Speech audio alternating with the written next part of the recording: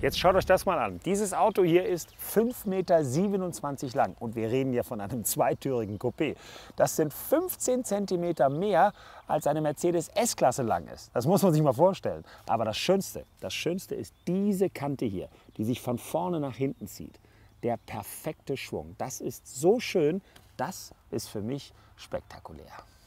Und da wir gerade von perfekten Schwüngen reden, das hier ist ja ein Fastback, auf Deutsch schnelles Heck. Also wenn das hier kein schnelles Heck ist, dann weiß ich es nicht. Und wie perfekt hier die Linien zusammenfinden, vom Dach über die breite Heckscheibe bis hin zum Kofferraum und dieser kleinen Erhebung hier, das nenne ich spektakulär.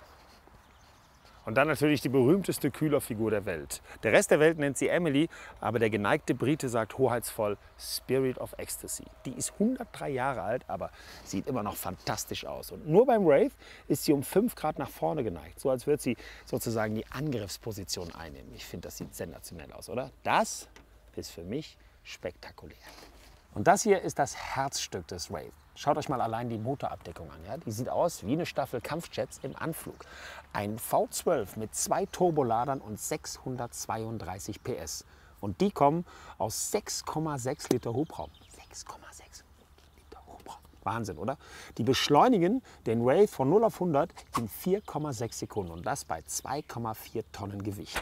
Der stärkste Motor, der je in einem Rolls war. Hm, so viel zum Thema spektakulär.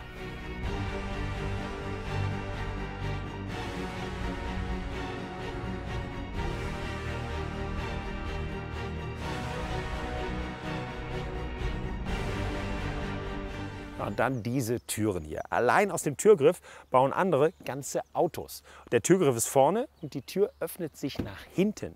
Und jetzt schaut mal.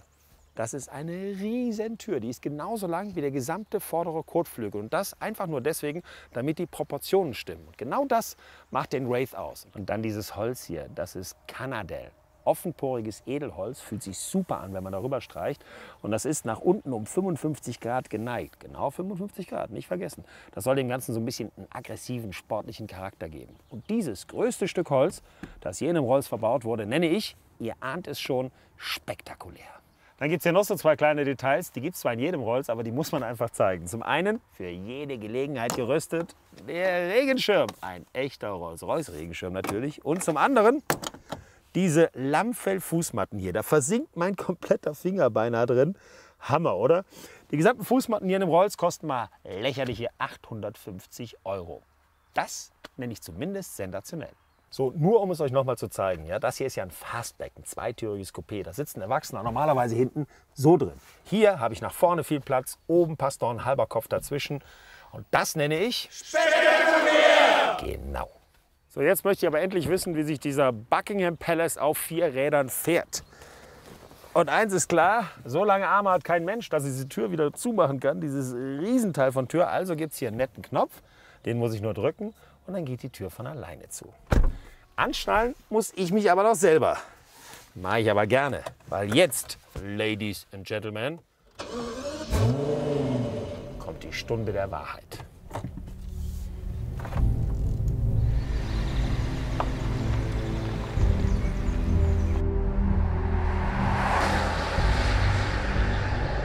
Also wenn man sich hier zum ersten Mal in den Wraith reinsetzt, so ungefähr muss sich Captain James T. Kirk vom Raumschiff USS Enterprise gefühlt haben, als er den Kommandostand zum ersten Mal übernommen hat. So ein Gefühl ist das.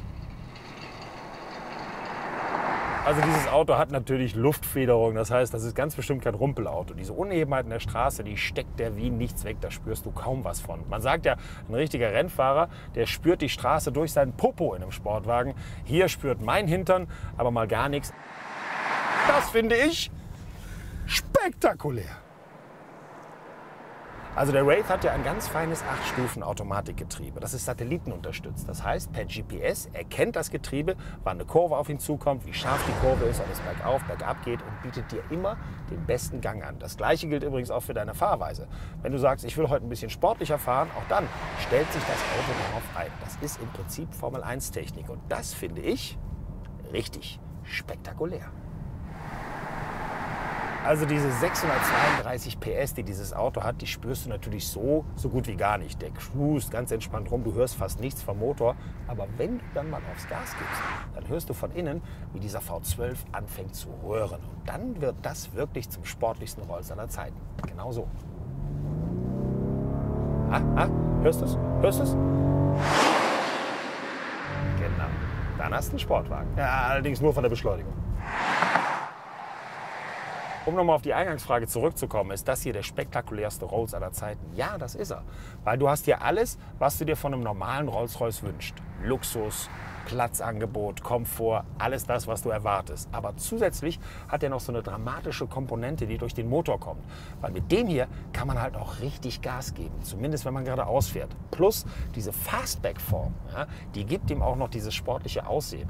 Das ist ungefähr so, als wenn du einen A380 Airbus mit einer Concorde kombinierst. Da hast du von beidem etwas und das macht dieses Auto spektakulär.